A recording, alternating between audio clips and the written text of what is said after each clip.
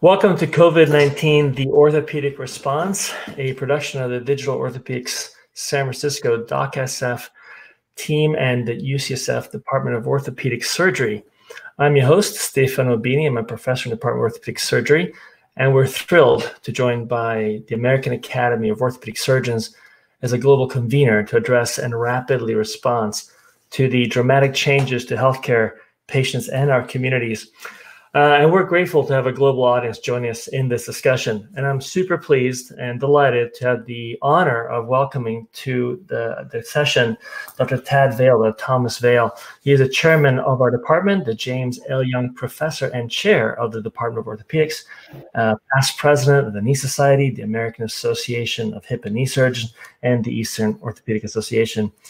He's also past director and vice president of the American Board of Orthopedic Surgery that oversees the licensing requirements for orthopedic surgeons. So we're extremely happy to have you here, Dr. Vail. Thank you, Stefano. It's great to be here. Awesome. And we're going to hear about the impact of what, how COVID impacted uh, an academic practice. So I'm going to turn over the, the podium to you and bring up our uh, decks and look forward to hearing your presentation. Excellent. Are we uh, good to go? Yes, Slides sir. up. Slides are up. All right. Um, thank you, Stefano, to you and your your entire team for uh, putting together a, a fabulous uh, program over the past few days in a very brief uh, amount of time. I know you all have worked uh, really hard, and this this conversation that's occurring uh, internationally is exceedingly important. And I think my comments will help show you why in our setting, it's called uh, the title complex patients, but it's really a, a, sort of a complex environment. And just to give you a sense, uh, as Stefano alluded to, um, I'm talking to the University of California in San Francisco. I'm the chair of the department there and also on the executive committee of the health system. This is a, a big university. We have 6,000 students. We've got 43,000 jobs. Uh, and uh, we um, have a big economic impact on the area. There are two children's hospitals associated with us, a trauma hospital, university hospital, et cetera. So you get the picture. Turning on a dime is uh, not easy. Uh, nevertheless, and all of you on the phone call have experienced, uh, starting in November of 2019, life changed dramatically. And uh, for us in San Francisco, uh, we were running at full speed speed and really had to turn course uh, instantaneously uh, due to an unprecedented uh, threat that we were experiencing. And some might uh, feel that we should have reacted sooner. I think there were indications from um, groups around the world that, uh, that, we were at risk for something like this to happen uh, and before the virus came along. But now we are experiencing what you see from the Hopkins screenshot on the lower right that this is this virus has pervaded communities around the world.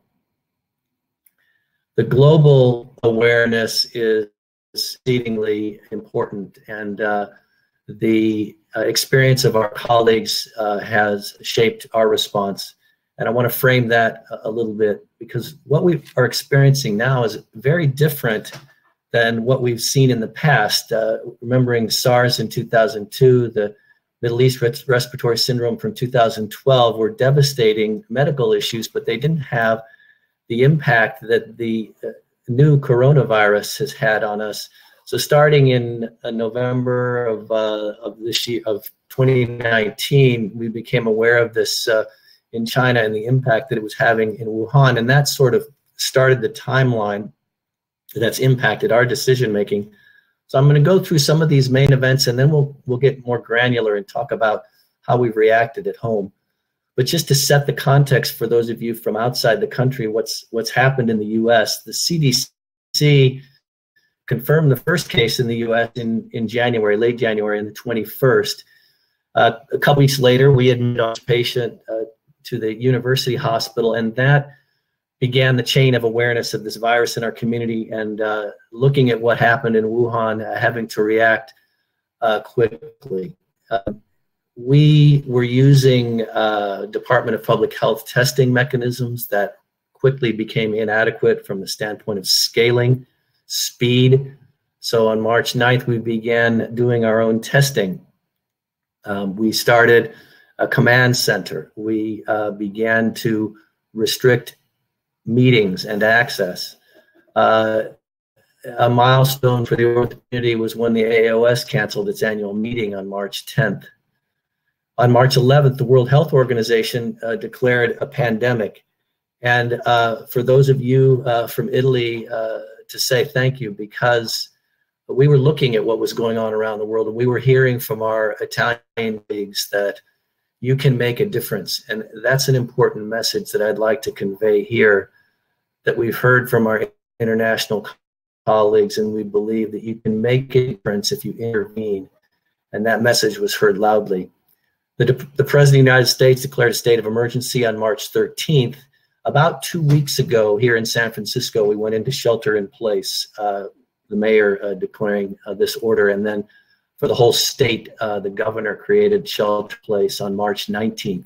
So give you a sense, these are the, the things that were going on in the world. Meanwhile, this is what was happening with global uh, cases. So you see in the blue now, on as of today, uh, the last time I had a chance to look, over a million cases, and, and in the United States, about a quarter of a million uh, cases uh, globally. So this reflects that while we were taking uh, some action, that exponential growth in the curve globally had already occurred. But there's more to it than that that that that is important for our individual planning.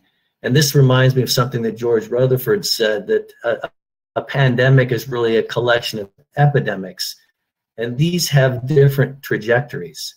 So if you look at the growth in cases for China, for example, in green, for Italy and the United States in orange and blue, you can see very different trajectories, very different experience in, in, in different localities. And this is not normalizing for population. So you can appreciate the burden in Italy, and we've, we've seen it and we've heard from our colleagues about that. Another point illustrating the value of our international conversation is this article that gained a lot of attention here from the Imperial College in London, talking about how immediate action can impact the surge. And this really uh, has had great importance at our institution in terms of taking action and taking action quickly, isolating people, uh, closing uh, public gatherings, even home quarantine. So you can see that it makes a big difference compared to doing nothing. So what was the local response? We really focused on safety, security, and capacity or treatment. The safety uh, has to do with the healthcare workers, the public, uh, the appropriate availability of uh, personal protective equipment, surgical masks. We can touch on this more because there's been a lot around surgical masks in the United States. Who wears a mask? What type of mask? In what setting? And I would say gradually it's become more with greater use of N95 masks in, in certain clinical settings. Security really means screening. Uh, early in March, we started screening people entering the hospital and entering the clinics and limiting visitors in the hospital. Uh, this is very difficult. People want to be with their loved ones, but it, it makes a big difference and it makes a big difference not only for the uh, sake of the patients, but the uh, maintaining the workforce. The other important aspect of this is planning for capacity issues. Uh, looking at the projections of cases, how they would occupy the hospital. This impacts every service, every surgical service, the orthopedic service, making beds available, making ventilators available, available, and keeping track of our capacity. Uh, I, I, we don't have time to get into the ethics of this, but it really, uh, the idea of how do you uh, allocate resources when they're scarce is exceedingly difficult. And we've had a lot of conversations around how to maximize benefits, save the most lives. And uh, there's an excellent reference here from the New England Journal for those who want to read more about this subject. So on to the local response. You see here uh, listed in orange are the total cases in the US and then what was going on in the US after the CDC confirmed the first case. We admitted our first patient. We froze the operating rooms early in March, stopped international travel, started providing updates to our community, canceled meetings, and then the online meeting uh, really began to explode. There were things happening also out in the community that added to the gravity and the attention. One, of course, was the crash of the stock market, the financial impact. Another was when the uh, NBA suspended play, the National Basketball Association. It may sound silly, but it got people's attention uh, that this was serious at a time when the World Health uh, was declaring a pandemic. And you'd think that would be enough, but the popular culture really has an impact. We ramped up telehealth. We started screening patients, eliminating visitors uh, in the middle of March. We adopted uh, the so-called Singapore model, and I think you've heard this alluded to from others. That is the idea of duplicating services and not overlapping so that you wouldn't have a complete uh, team unavailable, say, to do hand cases, emergent hand cases, or trauma uh, separating people. This included residents and faculty. Uh, in, and again, as I mentioned, confusion about PPE, who would be wearing a mask, and a lot of conversation and moving target on that over time. We opened a new ward for COVID patients. Uh, we opened a, a, new a hospital that had been shuttered and uh, have that coming online in the next week or so for COVID patients. And several hospitals in San Francisco worked together to actually open a hospital's ICU that was shuttered to make more capacity. So a real team effort. We began requiring masks at the hospital for everyone. Uh, and in, in the community now, uh, the politicians and uh, public health people are recommending masks for people who go outside. So that's a change. And we've started to model the financial impact. Of course, that's taken a backseat uh, to the clinical care in California, in San Francisco, uh, we really have three separate epidemics going on. You've got California and, excuse me, Northern California and San Francisco, Southern California around Los Angeles, where they have 10 times the number of cases that we have in the Bay Area, and then the Central Valley. So three separate epidemics. Uh, during the course of events, you can see on the red line that our orthopedic surgery dropped, uh, you know, on the order of 90%, only doing acute cases. And you can see what's happened to the COVID cases in the blue line in San Francisco, gradually increasing on a linear basis. We haven't seen that exponential increase yet, and hope that we won't, that others have seen. And you can see in the green and the orange, uh, fairly consistent in terms of numbers of hospitalized and ventilated patients. So we prioritized our patients, as I mentioned. We don't have time to go into it. Only the acute, urgent cases uh, are being done: infections, dislocations, acute oncologic issues, etc. So, Dr. Vail, real quick. So finally, what did we experience? Sorry. Yeah. I want to say that prioritization schedule that you showed us is also something we're using for uh, when we cancel patients and we try and track them we prioritize them as a way to re- afterwards. Sorry, I just wanted to, when the, the slide was showing.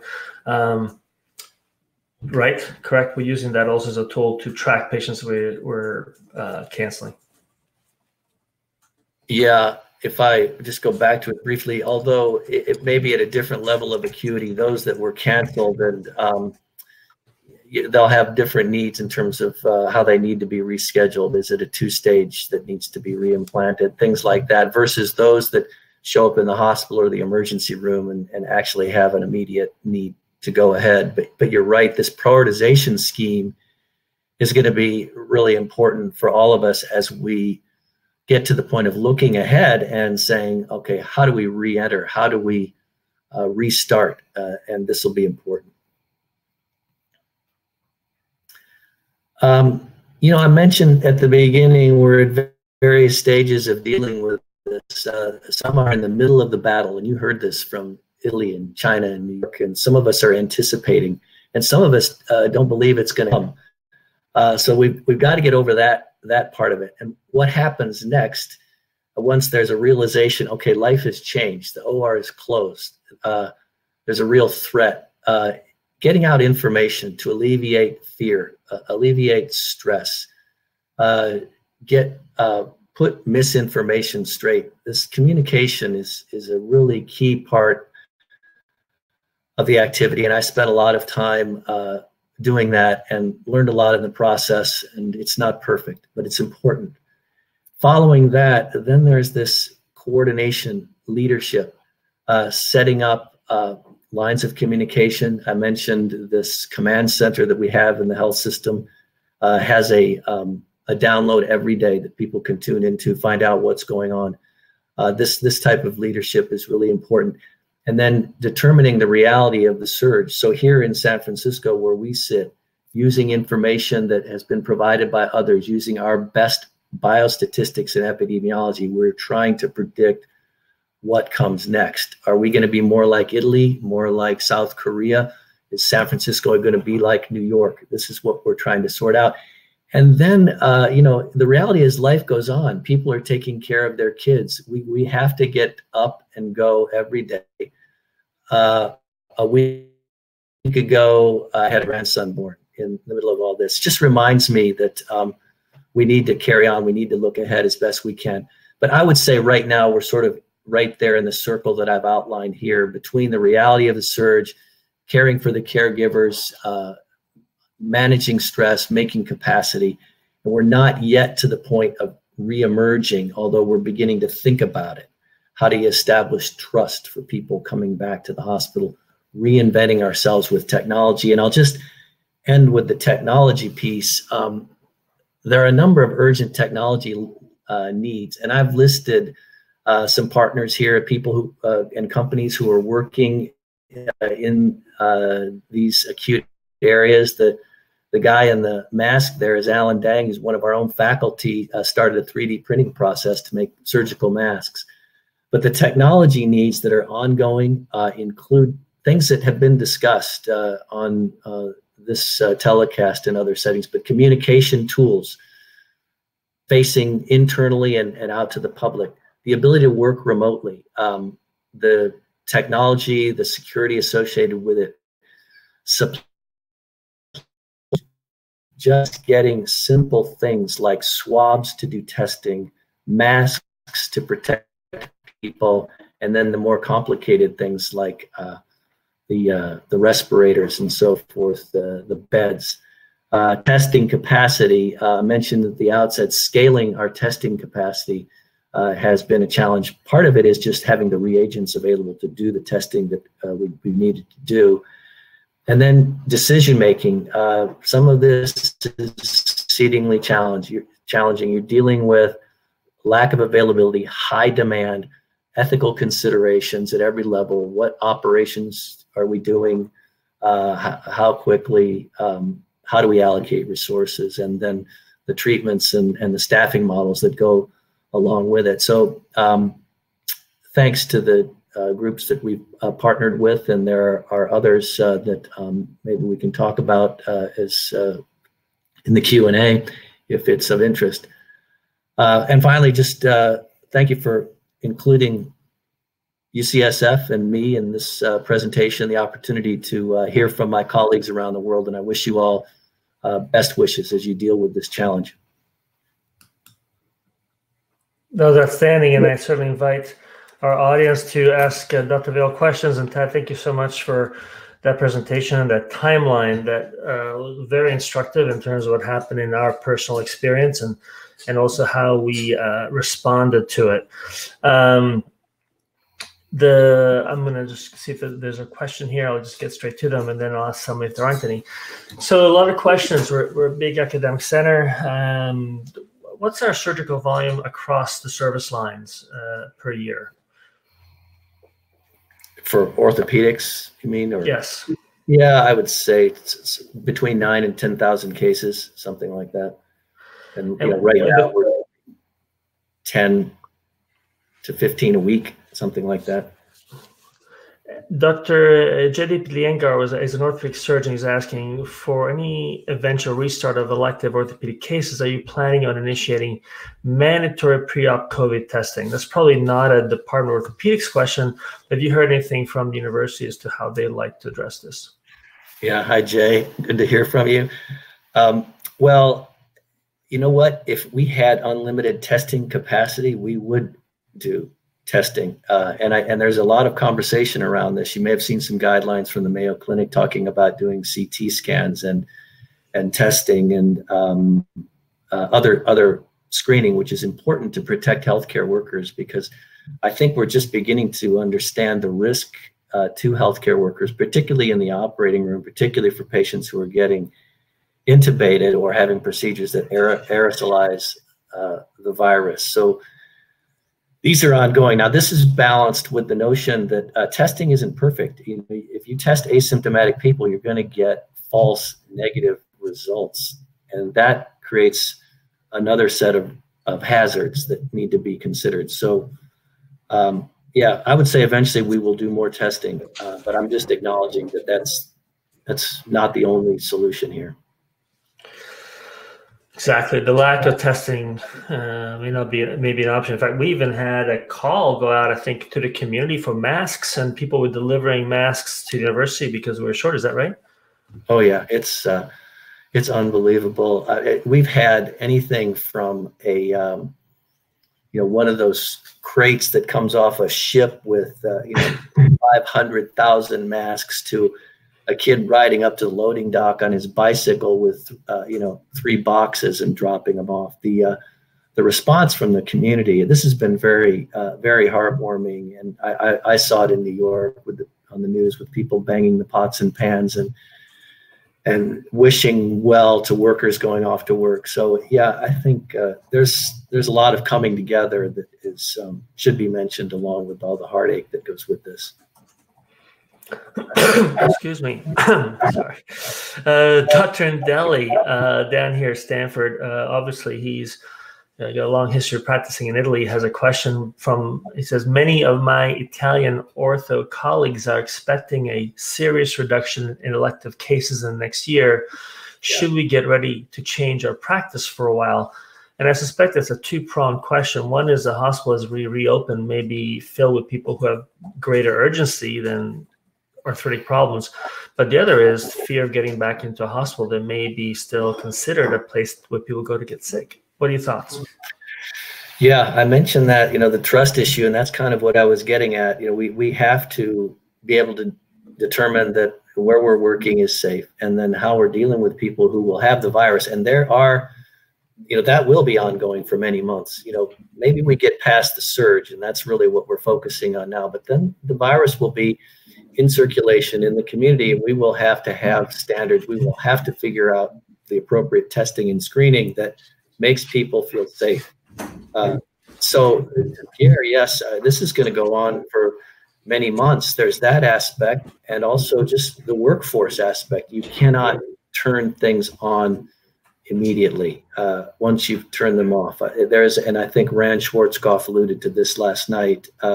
There's a process that we're going to have to go through, and it'll be, you know, obviously the quicker the better, but it's not going to be immediate. Um, what, uh, I have a question about that actually, but I get to your questions. Um, uh, how are the staff and orthopedic surgeons handling the new reality? How are people? What's people's emotional health? Um, what types of support have you seen people need? Uh, yeah. Yeah. Well, you know, I, I, sort of alluded to kind of the transition of uh, uh, emotion that's occurred with this. I, I would say congratulations. Are, I'm, I'm hit one by mistake. Congratulations are in order. Uh, people have reacted in a very positive way, but it's also very difficult. You know, we are not trained to uh, not operate. Uh, we're not trained to um, you know, be on the sidelines. So we need to figure out how to uh, contribute. And um, this has been very difficult uh, for uh, staff and faculty uh, to manage, and not to mention stresses personally on their families and so forth. They're people like uh, like all of us. It's it's hard, and I just not that we can't handle it. Um, nobody's asking for sympathy, but I think we just need to recognize that as being true. Um, there's uh, questions about uh, stratifying uh, patients and who we're actually operating on at UCSF. Can you give a little more insight to, because I know uh, we, we, are operating, we're just not doing a lot of surgery. What kind of surgery uh, are we allowing to the UCSF? Yeah, I, in sort of broad brushstrokes, I would say uh, acute infection, um, acute fractures, you know, where particularly open fractures you know, not the not the borderline non-displaced ankle fracture that that can wait. But uh, you know what I'm saying. The the type of things that really need attention. Neurologic compromise in a in a spine patient, somebody who's declining, know, epidural uh, hematoma, epidural abscess, that kind of thing in the spine realm. In oncology, it would be. Uh, it may be a patient who's you know in a in a chemo window and if they don't have that surgery that was planned it will negatively uh, affect their you know put their life at risk potentially. So these these things that have a high degree of uh, impact on patient well-being is how how i would characterize it um, not the routine by any means. Um, when you were talking about we, we opened up these new hospitals, we worked with the city to uh, find uh, hospitals that were closed and we needed to staff them. Tell us a little bit about how we were able to find the people to staff them. When, uh, could you repeat it, Stefan? I'm not sure I understood. Yeah, sorry. We, we opened uh, several hospitals that were previously closed so that we could make oh, room right. for COVID patients. But it's not just the building, the infrastructure. We have to staff it with people, and many places are reporting that they're having shortages of staff to to people to staff the existing hospital infrastructure. Yeah, no, that's that's right. So we've we've really uh, we've reached out uh, to the community community, bring bringing people back who uh, may have retired, uh, looking for travelers and other people who are coming from other communities that uh, you know want to be involved in um, doing things like this. It's a work in progress, uh, and you know we don't know to what extent we'll need all of it. Uh, so we've gone about creating the infrastructure and the capacity, and are, are in the process of putting the staffing in place. But you're you're you're correct. It's complicated, and there's some attrition. You know, you have of, of staff. You know people who get quarantined you know what have you that uh, others have alluded to that you have to manage so again i think using the strategies that are you know people would expect uh, in in recruiting and um, providing opportunity making people aware that we're doing this and um, that there's a need uh, we had a talk from Dr. Center that was, uh, we will repeat again this afternoon. We went live very quickly with uh, telemedicine. Um, and we'll speak a little bit to the fact that we had an infrastructure in place to do that and your experience watching as the chair of the department, how we adopted to that new technology. Yeah, I mean, I've, I've used it myself. Uh, it's, uh, you know, in some ways it's a compromise, but it's also really good. I think uh, if you can look a patient in the eye and uh, answer their question. And sometimes you have an image to look at, sometimes you don't. You tell them, okay, well, I can't make a final decision until we look at this X-ray, and you know, here's we'll make a plan to get one at the appropriate time, depending upon the acuity of the need. Uh, but I think not all problems can be solved in a remote visit, but many can, and many patients are grateful simply for the opportunity to uh, have their concerns alleviated by a face-to-face conversation if it's only uh, creating a plan for the future that's that's valuable it may not be uh, solving the problem completely so uh, we've used it a lot um, we our practice is we've got patients that come from many hundreds of miles away uh, as well so there's the convenience factor, and then there's the concern. There, you know, somebody's living in a rural community where they don't really see the virus, isn't really enthusiastic about coming to San Francisco, right. uh, where we have it in our community to be seen. So there's some safety issues, there's some convenience issues, and I think there's some um, real reassurance that occurs using that platform. So I've, I've found to be very, very helpful. Um, I have a question here about the economic. Oh no, actually, the I think there's a strong interest in having you answer this question. Do you think there'll be a large move of hospital-based surgeons towards outpatient facilities because the expectation is they may get started earlier than the inpatient environment?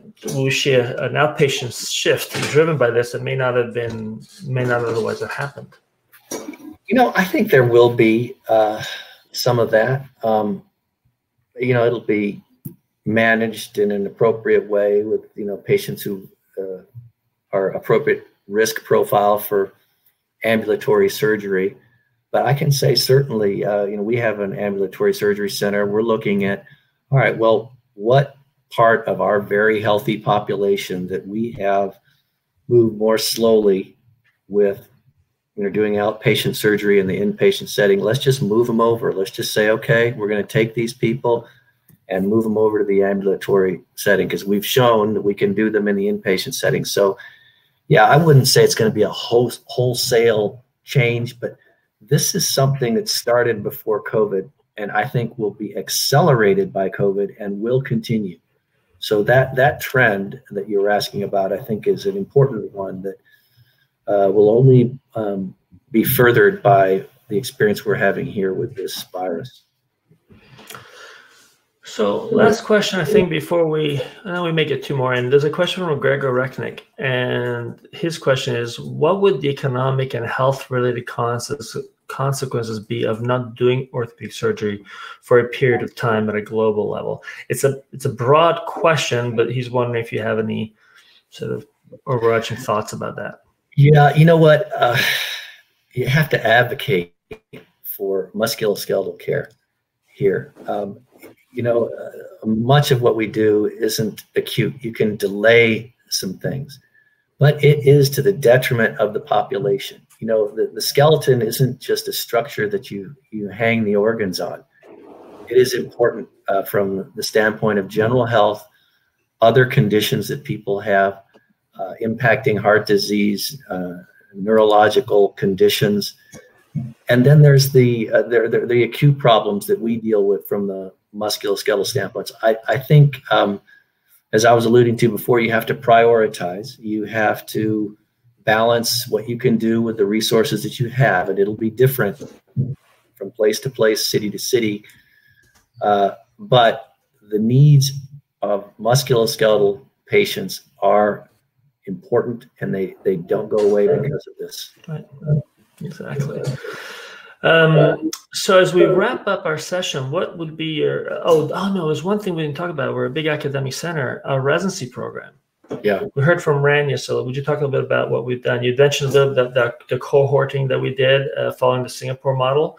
Uh, how about our educational? Um, yeah, that and that's really on the clinical side. The educational side, I'll have to say, I have uh, been so impressed with uh, the remote learning that's going on. I mean, the, the conference schedule has uh, marched on and uh, it's been well attended, well appreciated. In fact, I would say it's even increased. So we're missing the hands-on learning. Know, people aren't in the operating rooms. Uh, that's a challenge, and we hope to get back to that. But um, yeah, the the didactic teaching uh, that has continued, and uh, it's it's going great. And I think also there's some work afoot to really share among residency programs um, lectures and uh, learning opportunities uh, that would um, you know be outside of our normal curriculum so yeah some some really good things uh, happening there to uh, counterbalance the the challenges that that, that we face uh, Raphael, thank you so much for expressing your opportunity sharing that with us. I thought that was a really great session. Um, we uh, unfortunately are out of time, um, but thank you to the audience for participating. Thank you for you for providing us that insight. Um, I am now going to quickly turn over to Shauna as she moves into our next session. And I'd like to uh, remind everybody that if they'd like this content, they can see all the prior lectures that we've had in the last two days and follow us at docsf.health, D-O-C-S-F.health and, uh, and, and be part of our community. We'd love to have you. Thank you very much, everybody. Have a great day. Dr. Vail, thank you.